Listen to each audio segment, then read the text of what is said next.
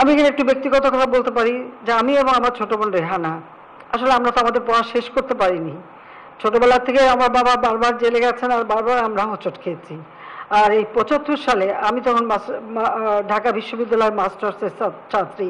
আর রেহানা তখন intermediate girls কলেজে পরীক্ষা দেবে, সে প্রস্তুতি নিচ্ছে। তাকে আমি সাথে নিয়ে যাই। তারপর তার আমরা দেশে ফিরতে পারলাম না, পড়াশোনা শেষ করতে পারলাম না। সেটি একটা দুঃখ থেকে গেছে এরপর অনেক অনারারি ডিগ্রি পেয়েছি, কিন্তু সেটা তো আর মন ভরে না না, এখন নিজে পড়ে যদি না করতে পারি, সেটাই তো সবচেয়ে কষ্টের।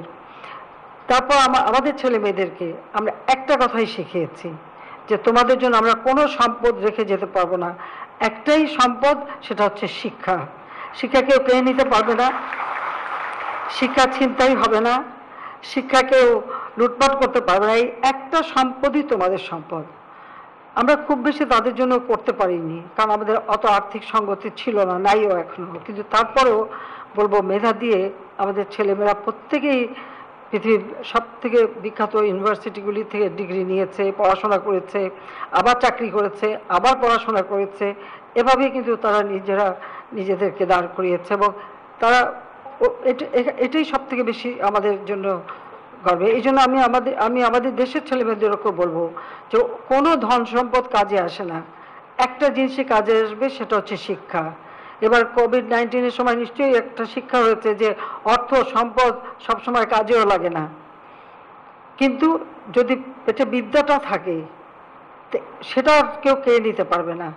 এবং কিছু না কিছু করে খাওয়া যাবে। যার জন্য আমরা এই যে ডিজিটাল বাংলাদেশ গড়ে তোলা, আমরা বিভিন্ন ট্রেনিংয়ের ব্যবস্থা করা সবগুলি কিন্তু করে দিচ্ছি। এখন স্কুল থেকেই আমরা কম্পিউটার ল্যাব তৈরি করে দিচ্ছি। তাছাড়া আমরা কম্পিউটার ট্রেনিং এবং ইনকিউবেশন সেন্টার করে দিচ্ছি। কারণ আমাদের প্রযুক্তির সাথে তাল মিলিয়ে তো চলতে হবে। আমি আশা করি যে আমাদের বর্তমান ছেলেমেয়েরা অনেক মেধাবী এবং এখনকার যুগটা তো আলাদা। এখন তো মানে বিশ্বকে জানা যায়, বিশ্বটা হাতের মুঠোয় চলে আসে। আমাদের সময় তো সেরকম ছিল না। কোথায় কোথায় বই পড়ে, ম্যাগাজিন পড়ে, এক একটা তথ্য জানতে হতো। আর এখন তো প্রযুক্তির যুগে সব কিছুই হাতে দ্রুত পাওয়া যায়। সেই জন্য মেধা বিকাশের সুযোগটাও এখন আছে। আমরা সেই ব্যবস্থাই করে যাচ্ছি।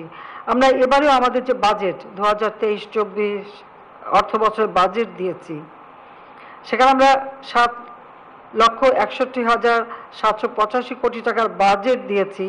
কিন্তু সেখানে আমরা আমাদের শুধু এই অর্থ বছরে শিক্ষা খাতে অষ্টাশি হাজার একশো বাষট্টি কোটি টাকা কিন্তু বরাদ্দ দিয়েছি।